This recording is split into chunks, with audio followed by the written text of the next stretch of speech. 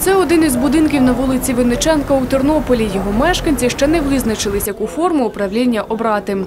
Часу у них до 1 липня, коли вступає в дію новий закон про управителів в багатоквартирних будинках.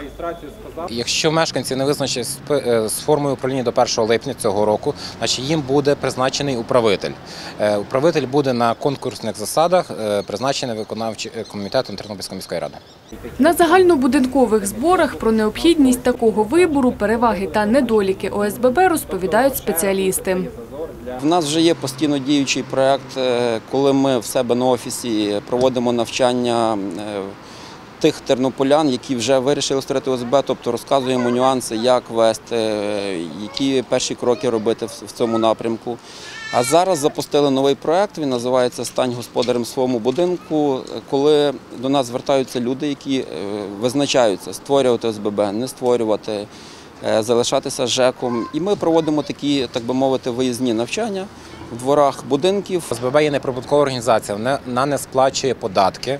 В той час, коли приватне підприємство, тобто управитель є на загальній системі, він заплачує 4%.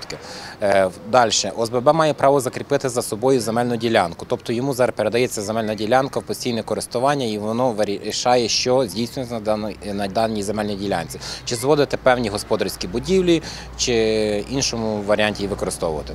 Окрім цього, додає Сергій Лупак, всі кошти, які збирає ОСББ, йдуть виключно на будинок. Мешканці самі вирішують, що з ними робити. В той час, коли управитель вирішує проблеми будинку за фактом, ОСББ може запобігти їм. Аби записатись на навчання в рамках проекту Стань господарем своєму будинку, потрібно звернутись в офіс самопомочі за адресою бульвар Шевченка, 16.